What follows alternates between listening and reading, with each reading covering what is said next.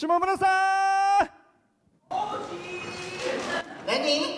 王子って誰だよ？もう違う。王子違う。こう。取れた！って取れた！面白いそういつも。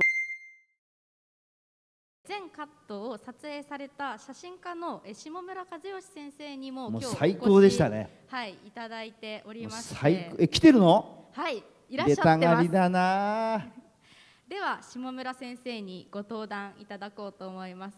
壇上までお願いいたします。下村さん！何？マイクマイク。これかな？えではステージのご用意もお願いいたします。王子今日もすごい。ああ王子って誰だよ？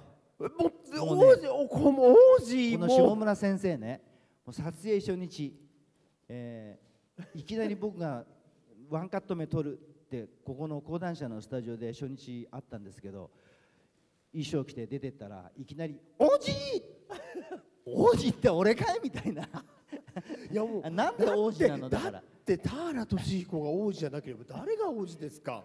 エンペラーだから、大スターではい。すよ、もうビッグは超えましたから、はい、い、やいやいや そそんな発言もありました危ないね危ない危ないちょっとあ私一応これねもあそうだそうだはい一応ね押され気味なんですけれども、はあのご紹介をあの等身大があるんですね。そうこれね。これどうすんの？これ奥村さんこれ、うわくれないの？これ。このバディ。くれないのってうちにあっても気持ち悪いけどな。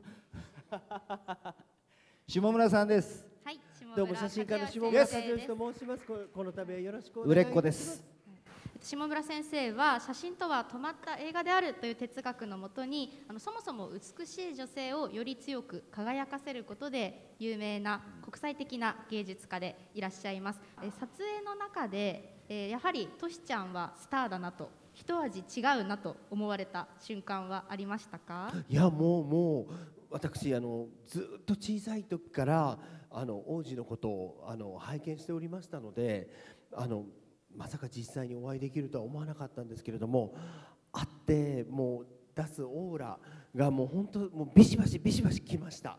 もうポーっとしながら写真撮ってました。ただね王子ねあのすんごいうるさいのよ。ポーズが違う王子違うこうこうだからってね。面白かった。取れたっていう